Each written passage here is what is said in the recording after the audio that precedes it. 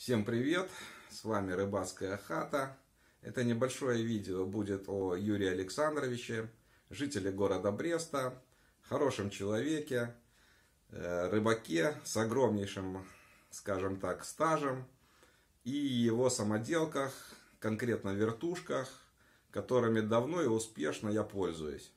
Юрию Александровичу 81 год. Сколько десятков лет он занимается этим делом – даже не могу вам сказать. Многим рыбакам о нем известно и пользуются его услугами. Представляю вам часть его работ. Казалось бы, ничего необычного.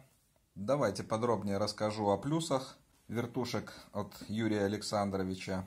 Во-первых, все вертушки у него проходят, скажем так, ОТК. Все он проверяет. Был я у него дома. Целая система у него там есть, где они проверяются. И все они рабочие. Во-вторых, то, что они дешевле магазинных, это понятно. Можно, конечно, например, набрать там за копейки на Алиэкспрессе какие-то подобные вещи, э, насколько надежные, насколько они будут рабочие, какой процент, это кот в мешке. Здесь я напомню еще, что каждая вертушка тщательно проверяется и все они рабочие. Ну и в-третьих, вот эта передняя огрузка, очень интересное решение. И вот у меня есть такой наборчик. Видите, разные грузики, разный вес.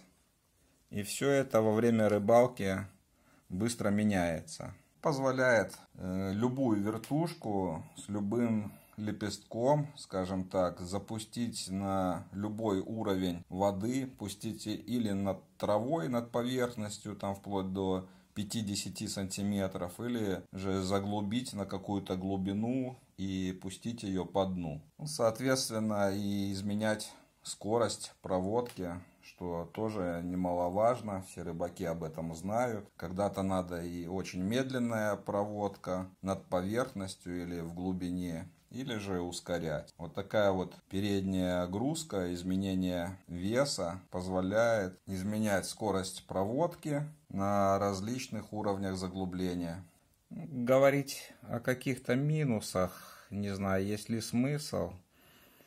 Ну, пожалуй, скажу, что некоторые, например, вот этот вот кембрик кого-то не устраивает, кто-то меняет его на люрекс, но это уже индивидуально, скажем так. Вот. А второе, наверное, уход, как и всех вертушек, надо немножко продувать вот этот вот кембрик, подсушивать их, чтобы не ржавели. Ну и как обычные вертушки, смотреть за их состоянием. Вот, в принципе, и все. Все эти вещи обловлены окунь, в основном, конечно же, щука.